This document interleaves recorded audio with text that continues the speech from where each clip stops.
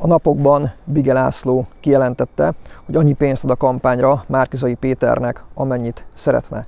Ezzel azt gondolom kiderült, hogy gyakorlatilag a balliberális oldal és a Fidesz között nincs különbség az oligarchák tekintetében. Mondhatnánk azt, hogy az egyik oldalon Bige László, a másik oldalon Mészáros Lőrinc. És azt gondolom, hogy nem is kell naívnak lennünk, hiszen biztosak lehetünk abban, hogy Bige László be fogja nyújtani a számlát, ezért a támogatásért cserébe. Ugyanakkor egy nagyon rossz gyakorlatot vetít előre, az látszik, hogy a két politikai tömb mögött egyre inkább formálódik egy mögöttük lévő pénzembereknek a közössége, akik egyre erősebb nyomást gyakorolnak a, a pártokra. Ezáltal gyakorlatilag kialakulott Magyarországon az, hogy már nem a választott képviselők fogják meghozni a valós döntéseket, hanem gyakorlatilag a pártok mögött álló pénzemberek, a pártok mögött álló oligarchák.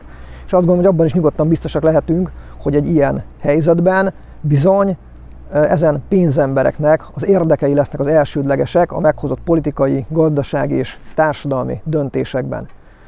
Azt gondolom, hogy egyetlen egy útja van annak ma Magyarországon, hogy ne következzen be egy ilyen oligarha uralom, az pedig az, hogyha a magyar parlamentbe bekerül egy erős harmadik politikai erő, amit a Mi Hazánk mozgalom képvisel amely erős harmadik politikai erő, a mérleg nyelve lehet a két nagy politikai tömb között, és egyben fék is ezeken a politikai tömbökön. Tehát azt gondolom, hogy Magyarországon ahhoz, hogy ne az oligarchák uralma következzen, ahhoz szükség van arra, hogy a mi hazánk mozgalom bekerüljön a parlamentbe.